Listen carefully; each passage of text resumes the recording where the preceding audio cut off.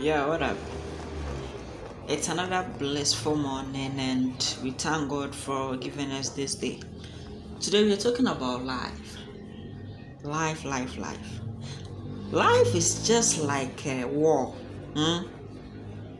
You are the, let's say, the soldier. You are going to the battlefield. You are going to face life. Now, you have your rifle with you. And you have your bullet.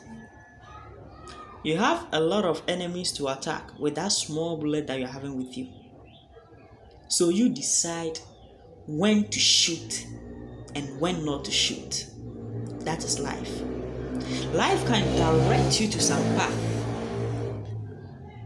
You choose to follow that path or not you are the CEO of your life.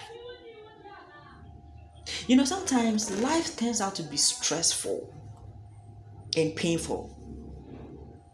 But in all, you yourself, you are the best person to make a decision. I was once there and there was a story that flashed in my mind that was you being a hunter and you aiming at a bird to kill it maybe I have my life. I want to be successful in life. So let's say being successful, being wealthy, or let's say I want to buy a car. So now I have my catapult with me. So I am the person and the catapult is with me. So that's the life or the money. And the bird is the car. I will choose when to shoot.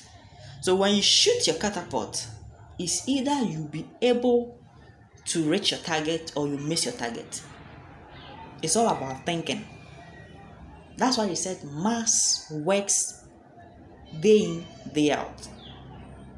You know, sometimes I just feel like abrabo a normal, like one able to my day, like life here may live, you may live in peacefully and I may live in a, a smoothly but ɛyɛ dɛ ɛbɛkɔ wayward ana dɛ ɛkɔ left na ɛkɔ right na ɛyɛ dɛ ɛmpɛ dɛ follow the right turn or later on you end up being disappointed.